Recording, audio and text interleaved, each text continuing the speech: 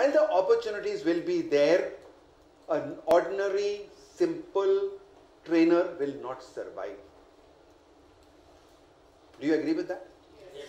Unless you upscale yourself, unless you come up to the requirement of the industry, the learning environment is changing. Today, people don't want to do your PowerPoint presentation. I have nothing against PowerPoint presentations, by the way. But I'm saying normal conventional training, which worked 20 years back, 10 years back, will not work now.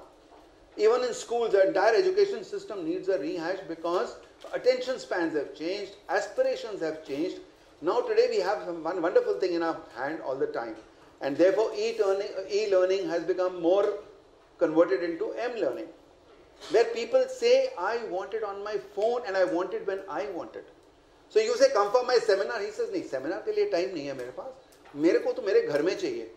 और जब मैं बस में जा रहा होता हूँ ना, तब मेरे पास टाइम है। I want the content when I want it and he wants it in short spurts so learning environment is changing